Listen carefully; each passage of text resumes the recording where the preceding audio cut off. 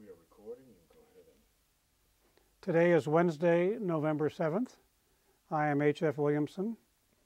I am interviewing Alexander Samaras for the Veterans History Project of the Library of Congress American Folklife Center.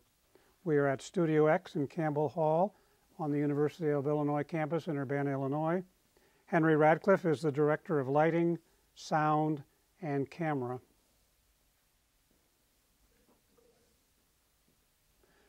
I'd like you to tell us where, your background, where you were before you went into the service and how that came about. Well, I was at Illinois State uh, Normal University, which is now Illinois State. And uh, I was a junior um, in 1941. My first two years I went to the University of Illinois, and then I transferred to Illinois State Normal. I, uh, after Pearl Harbor, I investigated the possibility of being able to finish college before I went into the service. So I, I contacted the Navy and uh, they said I can enlist into a V7 program, which would allow me to finish my degree and then immediately go into active duty. So I went to St. Louis on, um, I think it was July 7th of 1942 and enlisted. You had then completed your degree? No. Oh, I, I oh, was I a see. junior. Excuse me. I was a junior at the time. So from then on, I got to work on my degree. Uh, I had to, um, we also had a V12, V12 program, uh, which was for enlisted men. And um, we had to do all kind of um, uh, calisthenics and stuff to toughen us up. We ran a mile, we ran a half a mile, quarter mile, calisthenics every day, and so forth. A lot of work like that to keep us into shape. Then, as soon as I graduated in August, Oh. the 1st of September, I headed for Tower Hall in Chicago, which was the midshipman school there. It's what we called, what they called us, 90 Day Wonders. Right.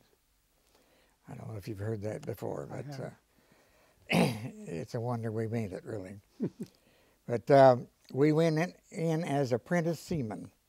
So we wore the little sailor hats just like enlisted men do for the first month. And then we graduated to midshipmen. And then the last two months were midshipmen. And then eventually we were, uh, all on December 22nd, I was commissioned an ensign in the United States Naval Reserve. At the uh, Tower Hall, our daily schedule ran from 6 in the morning till 10 at night. During this time, we were taking classes, studying, doing work. We did that six days a week. On Sunday, we were given the day off. So, as you can see, we were quite busy. And that's how they made us a 90 day wonder, working us uh, that many hours each day. Right. So I um, graduated and received my commission on the 22nd. And on the 26th, I married my wife, Carolyn, Ah, of December.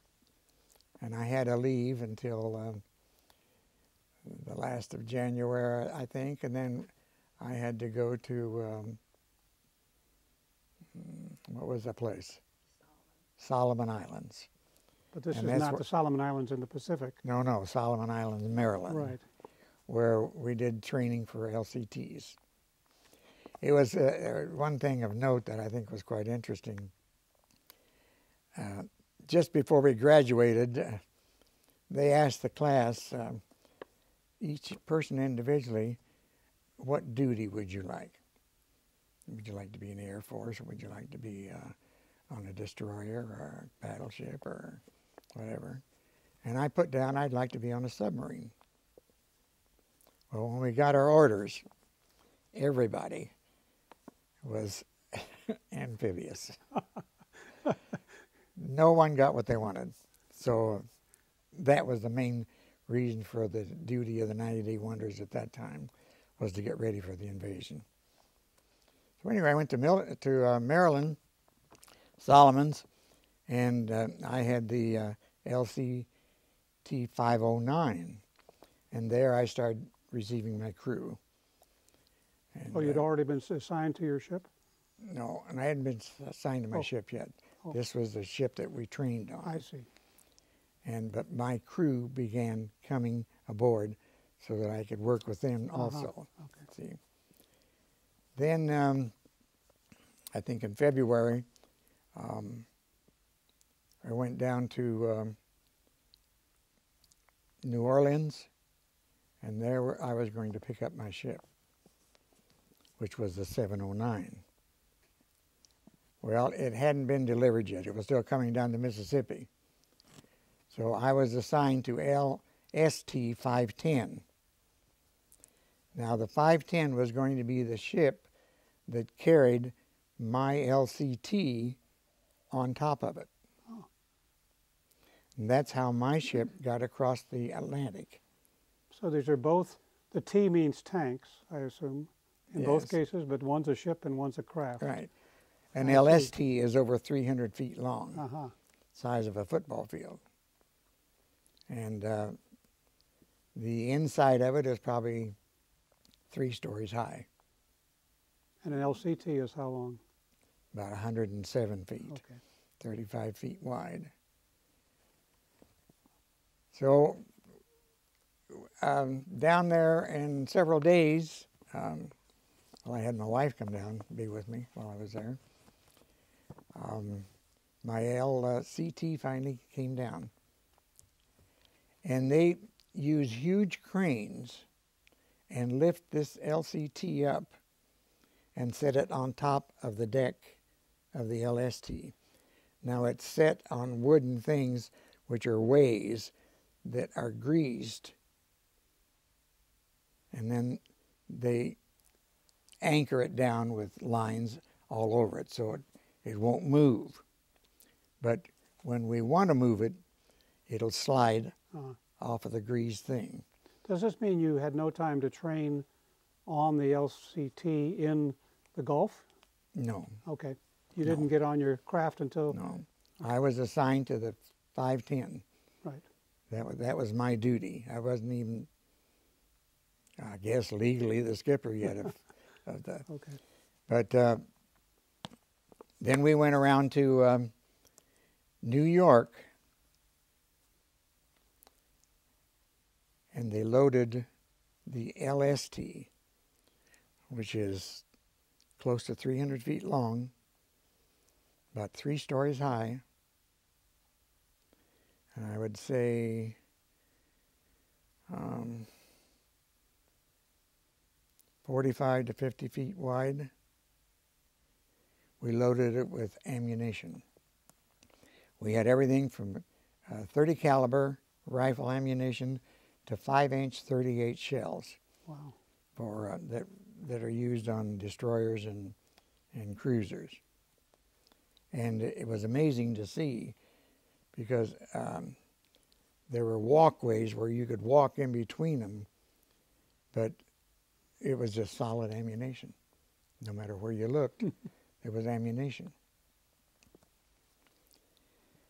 Well, we went around um, from New York. we went to Halifax. How large a convoy was it about approximately? Oh, I would say we had, uh, well, I think we had at least uh, 30 LCT, LSTs, and um, we had several destroyers that were supposed to protect us Right. on the way. um, But it was, so it was a good sized convoy. entirely the military ships. This wasn't uh, commercial ships as well. Oh, Just- no. It's just It was that. entirely military. And this was the North Atlantic where we crossed, and it was the the most treacherous uh, body of water.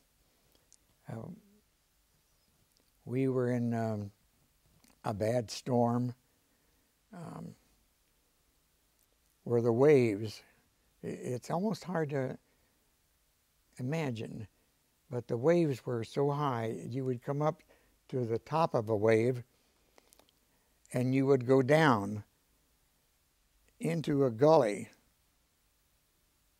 75 to 100 feet and come back up to the top of the wave again. Right.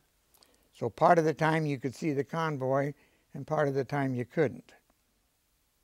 When you came to the top of the wave, then you could see the ships around you. Well, on uh, I don't remember what what what day it was.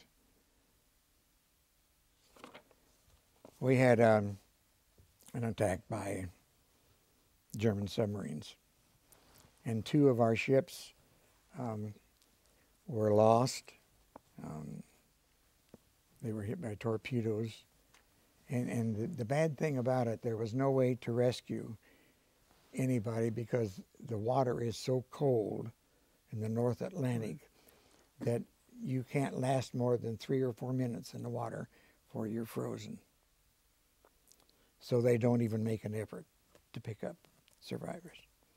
And that, that same night, when these two blew up, and I happened to be uh, the junior officer on the con, um, we were hit by a torpedo in our port stern, the back of the Hmm. ship on the left side, and it didn't explode.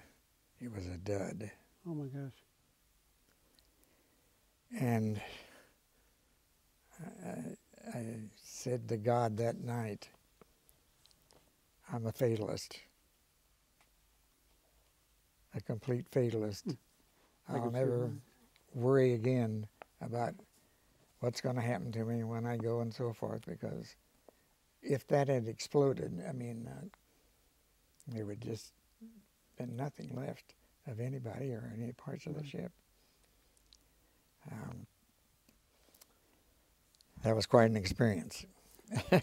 Everybody any- took a couple of days to kind of let go on that say, you know, Were there any additional days at which you were under siege by German submarines, or was that the main one? Well, we get we get warnings, yes, but th- that was the only two days uh, the the day that uh, the two were sunk I see. on it, and it, That was enough. yeah, that was enough. And of course, every convoy that went across was was usually attacked by the German submarines. So uh, that was the purpose of the destroyers and the destroyer escorts to try to keep tabs on them and keep them away from us if Right. possible. Where were where? What was your um, destination? Your first destination when you after you had crossed the Atlantic? And I think the first place we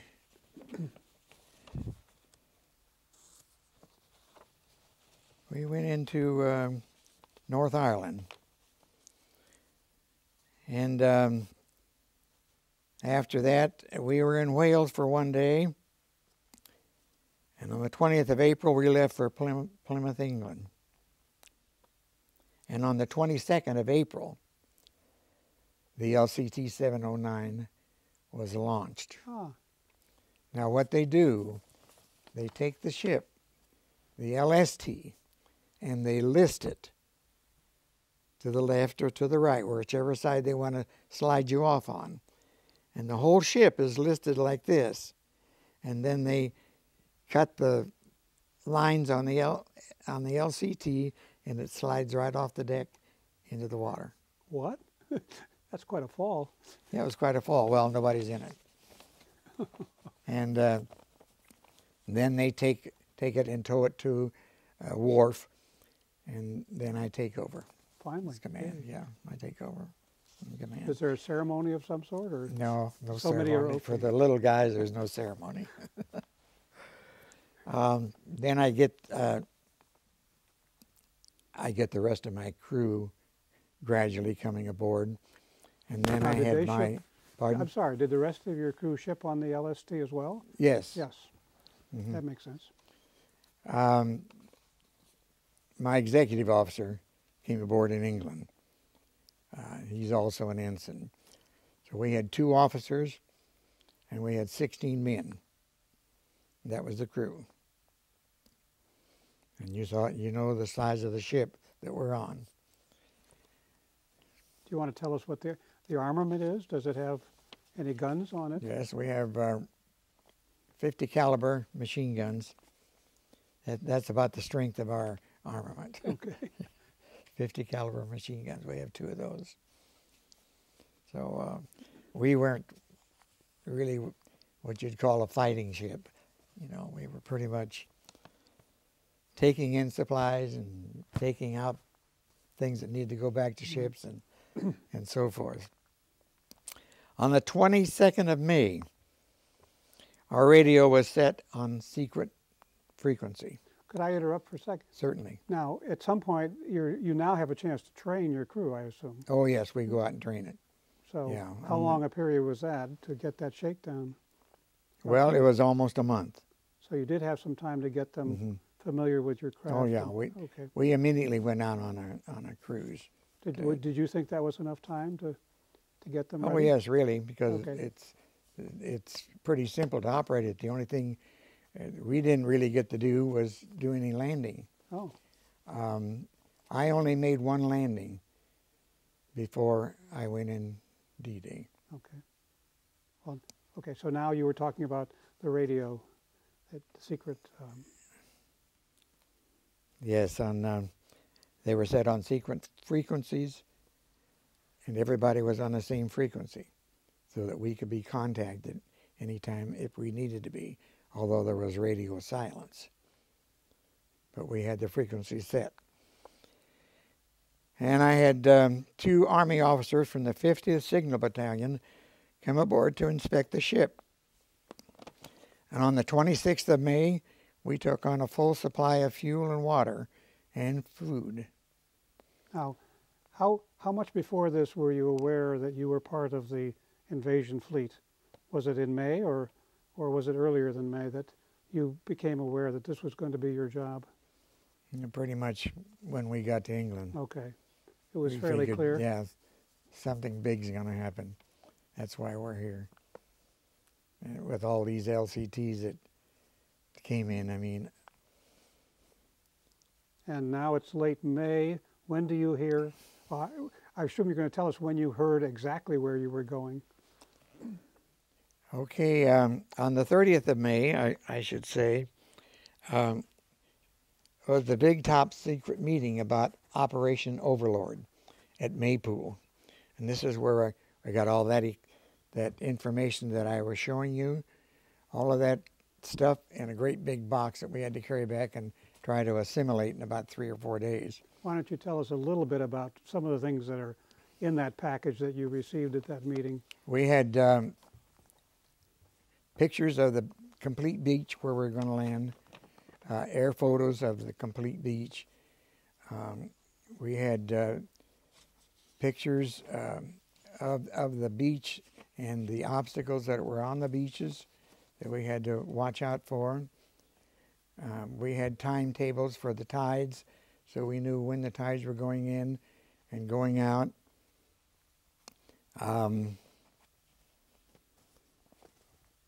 You had sort of a table of organization of what was going to be on your craft and things like that. Well, I I received then uh, when the the 50th Signal Battalion came aboard, and they told me they were going to be on my ship, and that they were my ship and the 710 were the two um, ships that were going to carry the 50th Signal Battalion, which is uh, pretty important.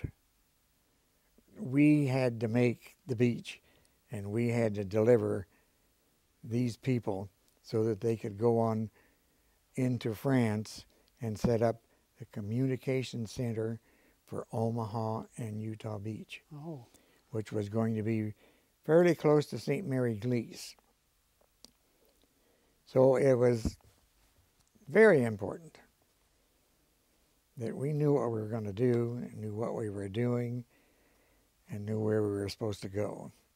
So we did a lot of studying to make sure we were in the right place and, and so arrived forth. safely. Um, on the 22nd of May, our radio was set on the sequence frequency, and um,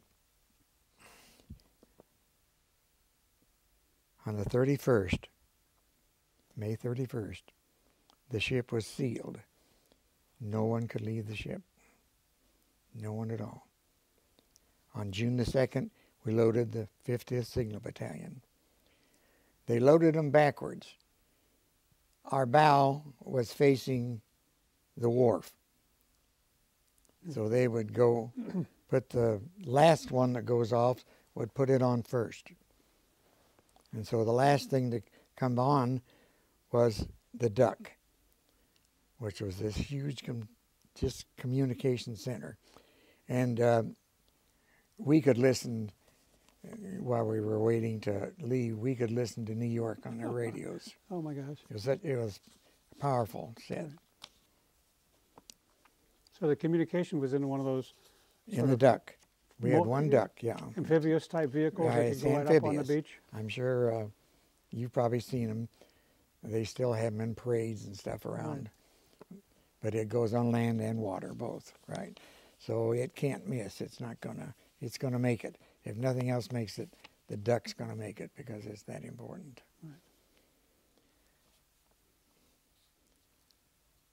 So on June the third, Yes. I entered this in my logbook. 1940. Slipped mooring to meet convoy headed for France. God bless my ship and me.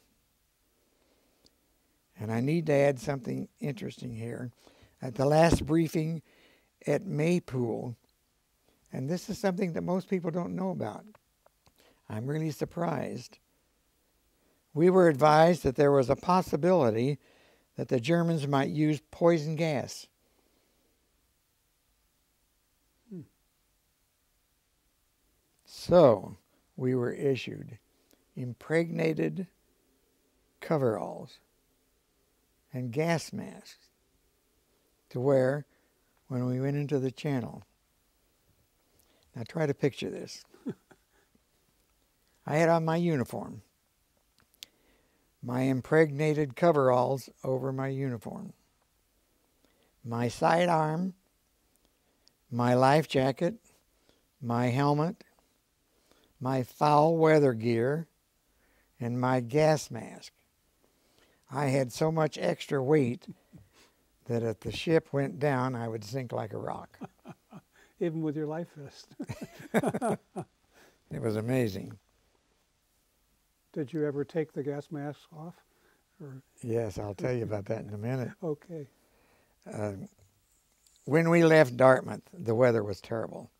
This is It June was- second, no? No, this is uh, the third. The third. right? Heavy rains, high winds, and when when we we were doing most of the traveling at night, so I had to put two of my men on the bow of the ship so they could see the LCT ahead of us. I mean, we were in just close formation. That's how we we pretty much followed each other, and and it was hard to see from my conning tower. I could hardly see the bow of, of my ship. So I had to rely, rely on the two that were on the bow. But I mean, it was it was terrible. It was the wind was blowing ferociously, and the water just raining hard. I mean, we were soaked, absolutely soaked.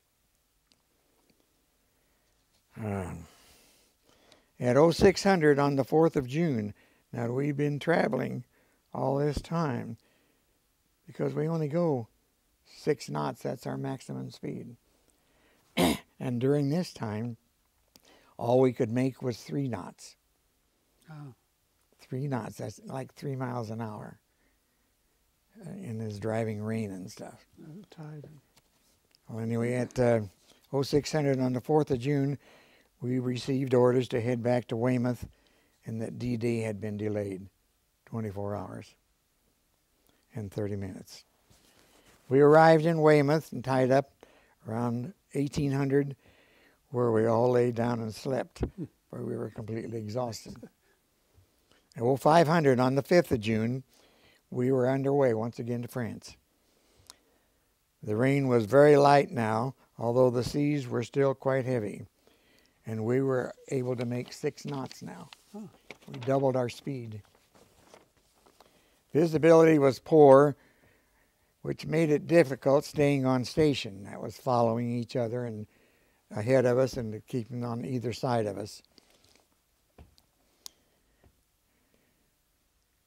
We reached our transport rendezvous area off Utah Beach around 2200 on June the 5th and dropped anchor. I sacked out for four hours. Then I took the second watch at 0200 on the 6th of June. As dawn was coming up, it had cleared, and the sight that I beheld was one that I'll never forget. And I really mean this. I'll never forget this. It was absolutely awesome. I could hear the planes overhead at 0200. It was loud. You, almost like a sound of a freight train going. It was just continuous. And you could see them blink V for victory signs, some of them, as they went overhead. well, when dawn came up, I couldn't believe my eyes. Everywhere I looked, from zero degrees to 360 degrees, all I could see were ships. Hmm. LCTs, LSTs, destroyers, cruisers, battleships. Ooh. 5,000 ships were out there. If you can picture that, just imagine 5,000 ships. And overhead, the sky was almost black with the planes going over. Still, yeah. B-17s, all kinds of different planes, some fighters. And again, you could see the blinking mm-hmm. V for victory. Ba, ba, ba, ba. It, it was something that I will always remember. I can see why. It, uh, it was something. We were designated on call, um, which meant we had to wait until the beach area was fairly clear. We, with the signal battalion, they would let us know when they thought it was safe for them to be able to hit the roadway, which we were going to get close to, and drive on into France to their destination. On the way in, we hit a sandbar. We didn't make it all the way to the beach. Sandbar wasn't even listed in our things. It was supposed to be a clear shot into right. the beach. Well, we hit it, so we were probably, oh, 50 yards or so off the beach. So there was about a foot and a half of water as they got off the ramp. Well, naturally, the duck didn't have any problem at all.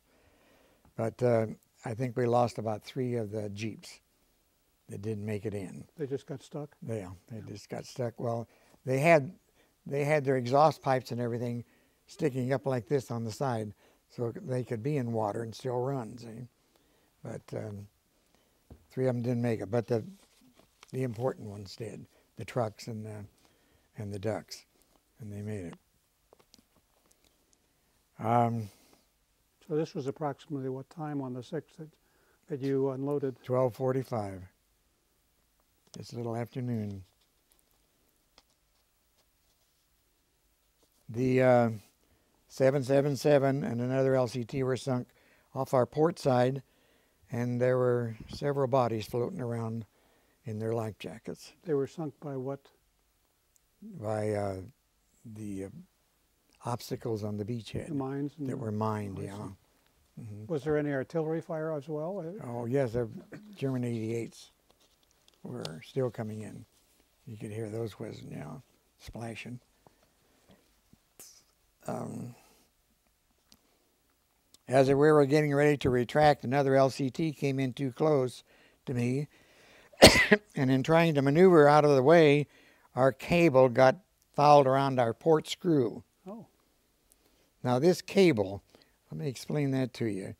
We have about uh, 200 yards 250 yards of steel cable like this that's hooked to our anchor. So when we make a run to the beach, when we're 150 yards out or so, we'll drop the anchor. Oh. And then it'll run out as we go in. We use that to help pull us off the beach when we come off the beach. But anyway, that cable got fouled around the port screw.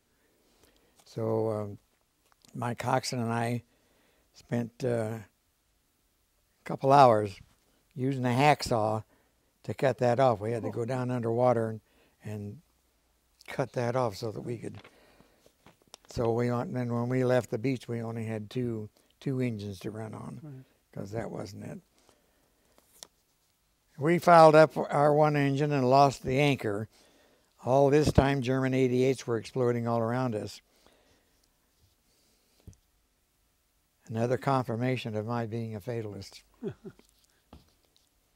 well, we had to go out and do repairs, get a get a new anchor and and uh, some more cable. This was back in England. Uh, No, no, we go out to a repair ship. oh, in the channel. I don't get back to England until Christmas time. So everything Sorry, that I'm getting ahead of your story. Yeah, everything that's done now is on the, on the beachheads. And um, on the second day, um, yeah, on the seventh, um, we were strafed uh, on the beach by two. There were two fighter planes, and I guess that was the last two fighter planes they had. They were just going around down the beaches strafing having fun, I guess, because that's that's the last we ever saw of any German aircraft. Kind of a dangerous fun for you. Yeah, it was. But uh, from then on, I worked all five beaches. There was Juno, Gold, Sword, and Omaha. And wherever they told me to go, I had to go. And I unloaded supplies from ships. I un- unloaded trips, uh, troops uh, that were coming in, uh, um, food, water, ammunition, Vehicles as well, and vehicles. Yeah, vehicles. and and the British were using the American craft to help yes. their beaches. mhm. Yeah, we really had much more than what they had. They had LCTs, but they weren't like ours, and uh, not nearly as many. I mean, we overwhelmed them as far as that goes in the number. But we carried prisoners out to their ships. Was that dangerous? Were they No, no, they were pretty well they were well under yeah. guard? Okay. And uh, actually, most of them were pretty glad to be out of it. I see. And um, people that were injured had to go to hospital ships. We took them. Just about anything and everything. And we worked 24 hours a day. Whenever they needed something, they called us. We had to go. It doesn't matter when it is. When did you rest? Well, that's why the executive officer and I took turns. Okay. so that he got 12 hours and I got 12 hours of sleep. And we had to do pretty much the same with the crew members. on it. And there were times when uh, we wouldn't have a call for uh, six or eight hours, you know, and we could relax. And once in a while, um, we could get on the beach and just beach, and they'll give they'd give us a couple of days just to stay on the beach. And uh, you get on the beach and let the tide go out, and then you're on the flat bottom. See, our ship's flat bottom, and you just sit there real fine, no problem at all. Was was this one of the major invasion beaches at the time? Yes, Mhm. Was there still a lot of evidence of the battle when you were there on the beach? um, I mean, left over and at the time? well, on the first couple of days, Yeah. yes, but after uh, after the first week or so, no, it was pretty much cleared up. I see. So we worked. Um, we had two or three big storms um, where uh, they were tremendous. We couldn't we couldn't stay on the channel. We had to go up a little river uh, and uh, stay in there while the storm ran itself out, Right. so to speak. So that was interesting. Sometime trying to get in there soon enough to get out of the storm. But um, went back to England around Christmas time. So during this six months, the craft held up pretty well. Yeah, well, we had we had repaired engines. Engines would go out and had to put new engines in. And see, we had three diesel engines, so we had we had three screws that pushed the ship. Right. And um, So you yeah, anytime you had repair, you had to go out to the repair ship and Right. get it done. Was was the craft repaired in the water, or did they lift it out of the water onto the? no, most of the time it was repaired right right in the water. I see. Yeah, unless you had a a hole in the bottom or something like that, then you'd have to go in dry dock. We had one one interesting thing um, that happened, and uh, to this day I still don't understand. But the uh, battleship Rodney, a British battleship, was out um, out there, and they asked six six of us LCTs. They were having trouble with E-boats, uh, German E-boats that have torpedoes, you know, kind of like our PT boats. Right. And uh, they asked us to protect the battleship, and they wanted us to moor alongside both sides of the ship, so that if uh, a torpedo come, it would hit us first. Oh, Wait a minute. Yeah, that's what I thought. and so we did it. We did it two nights. And I, I, I talked to some officers afterward. I said, Who was the stupid person that figured this out? That we were going to protect the battleship? Because most of the torpedoes go down to about six feet under the water and then hit. And our draft is two feet. So if they were going to torpedo, the torpedoes would go under us anyway. You know, they wouldn't even hit us. So they would destroy the battleship and hurt you because. Yeah, well, they'd destroy us too, probably. that is ironic. But I thought it was kind of a silly thing, really. So it's now December, and you finally get back to England. Do you get some leave time? At Yes, then? get some leave time, and uh, I enjoy myself. I go to the uh, what is it? The Christmas program in England with uh, all the kids and stuff. That Oh, uh, yes. the um, oh, what is it? All the silly hijinks and things. what?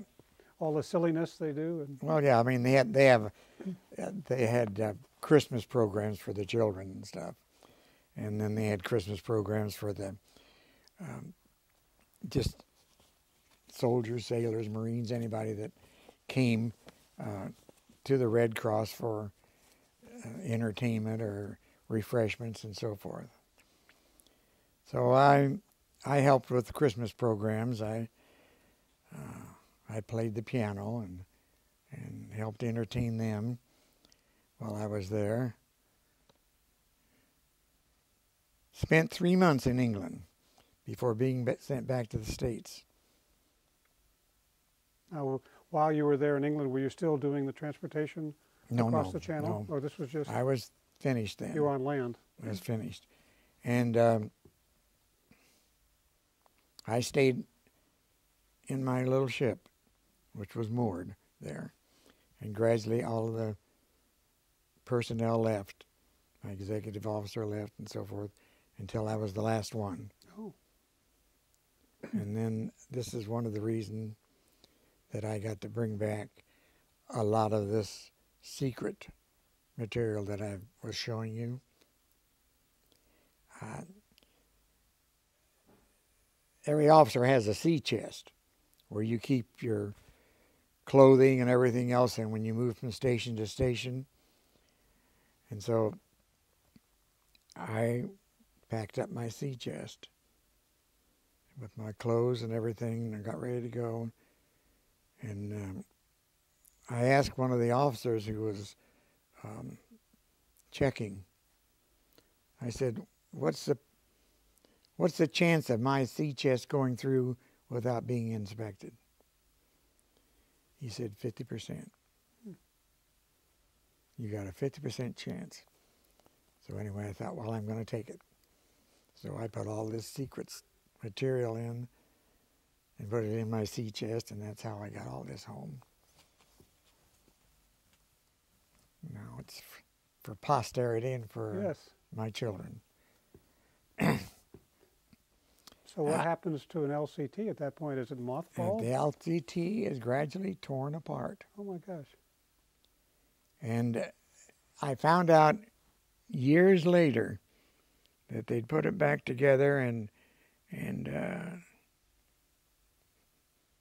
some little small country uh, had it and was using it. Uh, Oh, but they can take it apart by pieces. You know, that's how it's assembled in in certain sections. So after every time, I could I could watch them kind of taking it apart, taking this, taking the bow off, and taking this. was that off. somewhat of a sad moment for you? Yeah, kind of, I bet. kind of, because that was, well, that was a home for Yes, that had been your first command. yeah, over six months. Went back home. Had 30 days leave and enjoyed my family. And then I was promoted to Lieutenant JG on April 1st, 1945. So you can see that's what? That's almost 16, 17 months before I got to. On the 25th of April, we left for California for Okinawa. Those are my orders to go to Okinawa via Hawaii.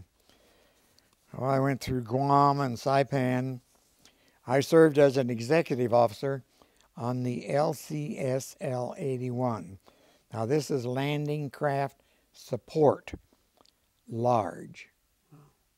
We had rockets on ours. We looked like a small destroyer. Only we were still flat bottom. We were still amphibious. Hmm. But it could, it was ocean going, like the LST. It was ocean going, so that part was good anyway. So its support was mainly firepower, not Firepower. repairing. Yeah, Okay. firepower, right. Um, I served as executive officer.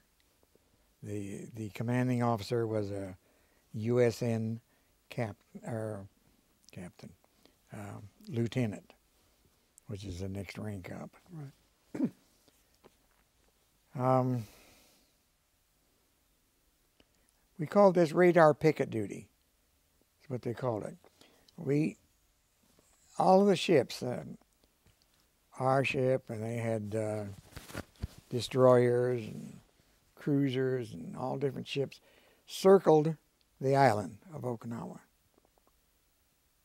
And we called it radar picket duty because we were there to protect from kamikazes and from um, people coming out from the mainland trying to come out to the ships and blow them up. In what in in small Yeah, little small some- crafts. yeah.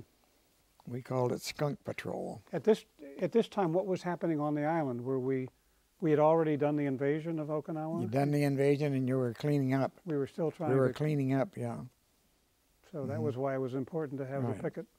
And this was at the time when the Japanese were having a rough time. Things were going bad. And this is when they started using kamikazes. Oh, So this was the radar picket duty part of it because we were on constant duty 24 hours a day as we circled the island.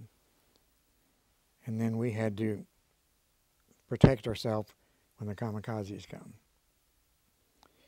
And there's nothing more frightening than looking up at an airplane coming at you, and you can see the man in the cockpit. If you want something to scare you to death, that will do it. He's we were lucky. We were never hit. We uh, we had several near misses where it made us wobble like this, you know, from the explosion. We splashed five kamikazes, shot them down, and uh, it it was a duty that was it was a nervous duty all the time. why, You never knew. Uh, of course, you usually you got a little warning before they come that the kamikazes are on their way, but once they were there, they just kept coming and coming, and all you could see were ships or these airplanes diving. No matter where you looked around, these guys were diving on the ships. How did you guide the aircraft, the uh, anti-aircraft fire under those circumstances? Oh, it guides itself. They have the thing where they sit and guide it. But how would they know which of those planes? What? The, how would you know which planes your ship should shoot at as opposed? The one that's coming at you. that's easy. Okay, Yeah, the one that's coming at you. I see. And there would be there would be times when you'd would get a couple coming at you, but for most part, it was just one. Okay. They would they'd signal out one person. Were these land-based ships, or were they coming off carriers?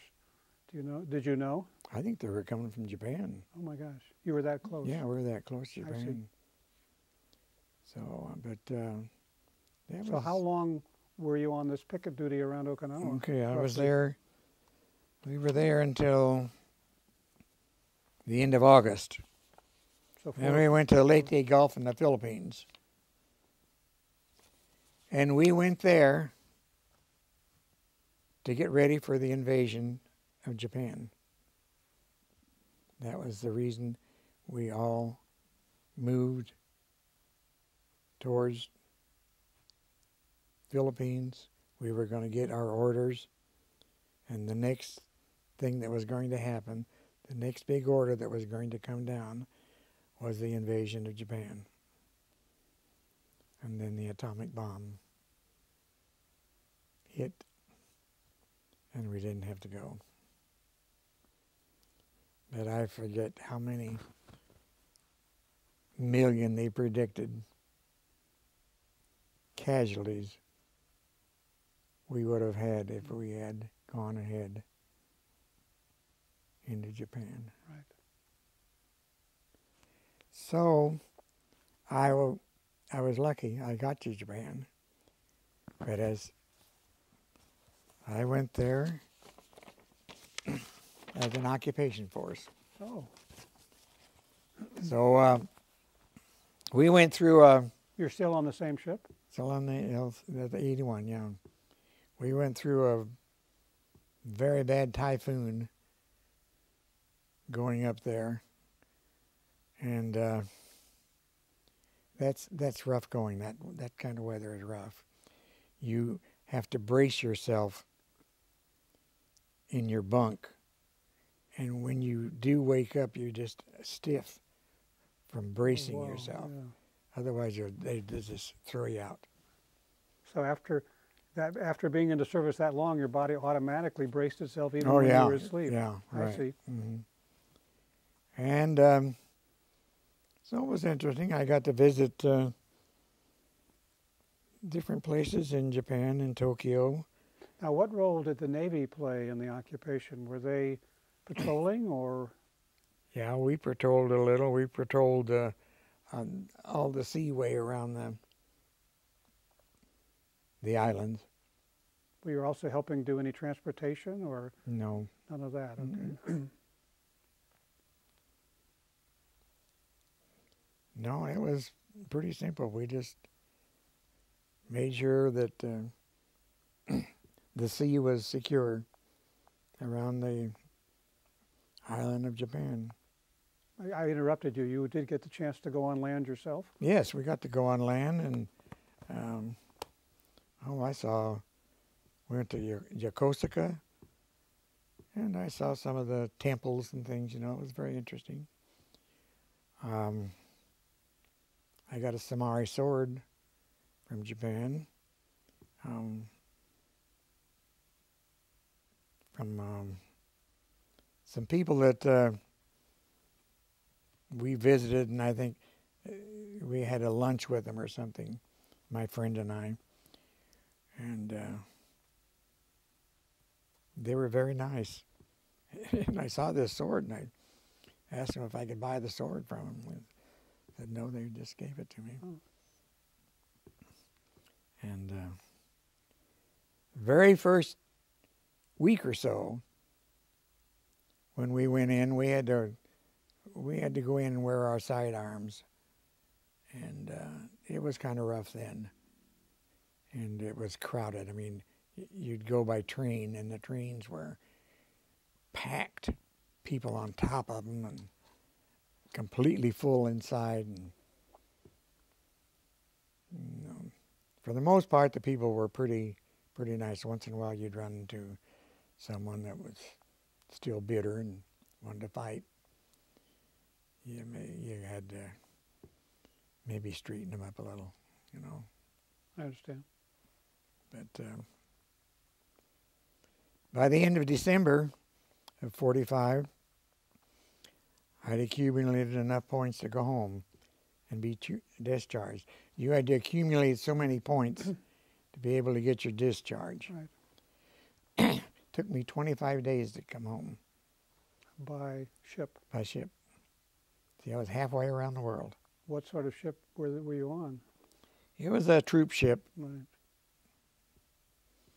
I, I arrived in Los Angeles on the 20th of January, and I received my honorable discharge on February 4th at Great Lakes Naval Station in Chicago. Where you st- almost where you started. Mm-hmm. That's fitting. Yeah. Well, It's uh, it's an experience that I'm glad I had. I I relish my experience, even though there were many times when I was pretty worried about what might happen. But I look back on it and uh, I'm glad. I'm real glad I had the experience of war duty Yes. in the Navy. Did you feel you were well enough trained to command the crew? I mean, was there ever a time when No, you were you were well trained then? no, I actually I was not well trained. I'm sorry, I didn't. The question had so that no could have been either answer. Yeah, Did they Uh, train you well to lead and you felt not? And now I'd like you to explain why No. that you felt that way. well, time was the was the problem.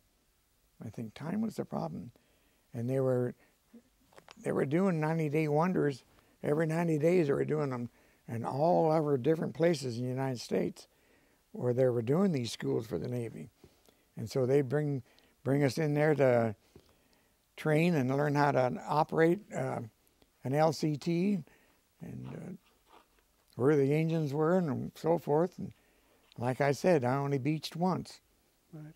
there. That was all. They just didn't have time. They just had them coming in all continuously, coming in, coming in, and pushing them out. So to be an effective leader, you had to depend on your own Yeah. background, your own resources. Yeah. Really. I want to go back to that training school, the 90-day school. You come in as an able-bodied seaman. Does that mean that if you flunk out, you go into the Navy as a seaman? Those who those who wash out of the school?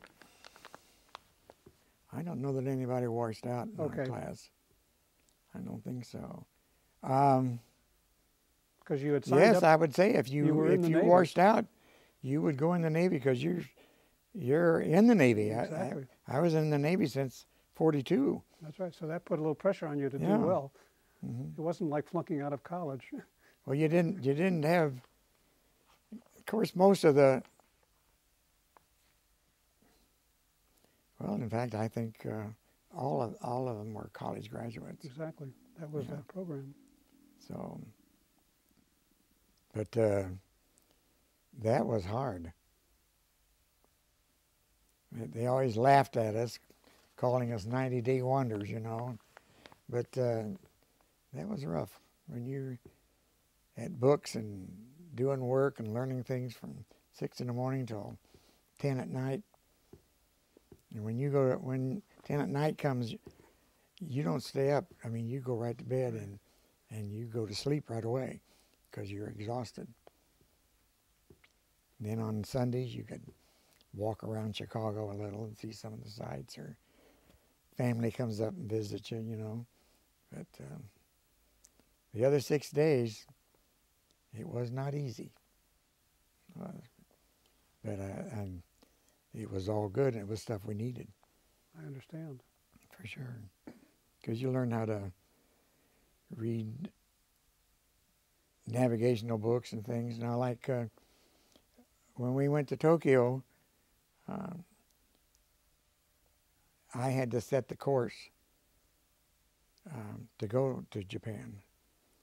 I mean, I took the ship to Japan because I took settings in the morning, settings in the evening, and I charted the course all the way.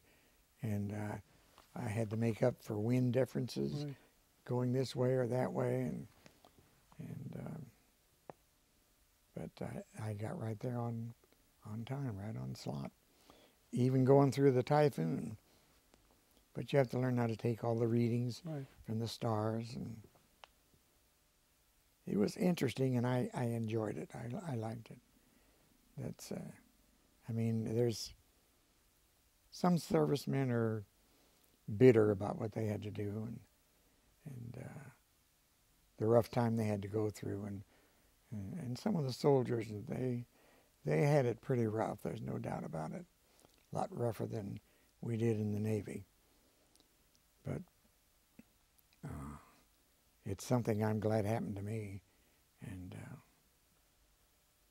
I feel I feel good about my service.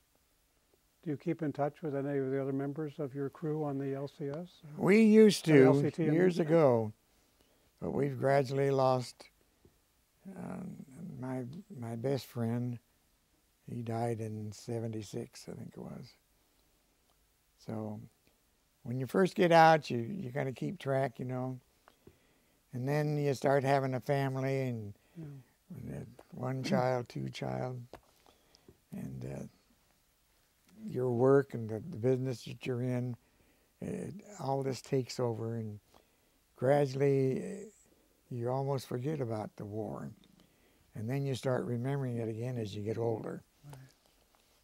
'Cause I was thinking you you've been so um, eloquent about the impact on your life and your feeling about that. I wondered if you'd had a chance to talk with some of the people who went through it with you and see if whether they shared that that feeling.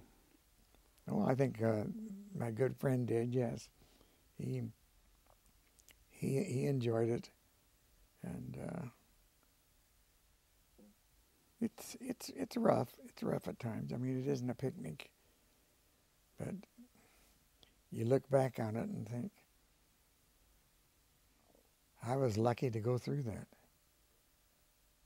And, I mean, I've experienced something that a lot of people haven't. We'll never know what it's like. They just Well- have no idea. That's one of the reasons we were happy to have a chance to interview you Yeah. for this project to to find out about these facts and these feelings. hmm Is there anything else you'd like to say? I had a good partner. We will have been married 64 years, the 26th of December, which was four days after I got my commission. Right. and uh, Carolyn's been a godsend to me. And she had to survive a war as well on the home front. And it was rough. It was rough on her. Um, after the invasion, she didn't receive a letter from me until the middle of August. So she had no way of knowing. She What had thought I- occurred? she thought I was dead. And I didn't receive a letter from her after the invasion until the middle of July. I think the Navy was a little snafu'd then.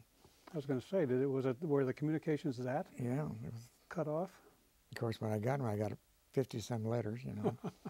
and I'm sure she got a bunch too. But it was rough on her.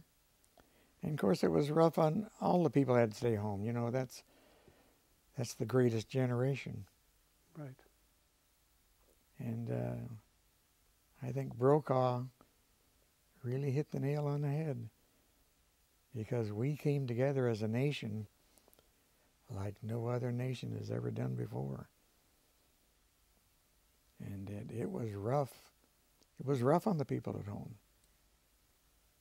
They didn't know what was happening to people like us over there, and they had to work. Every, everything was changed over to military factories, and um, you had gardens where you were taking care of your own produce and victory gardens, I think they called them. And um, they had a rough time. It was rough. And then it was especially rough, like when she didn't know Exactly. what had happened to me. I'm certainly glad nothing did in terms of the worst case. I am too. Well, I'd like to thank you very much. This has been a wonderful interview. Thank you. I enjoyed it. I think that is it.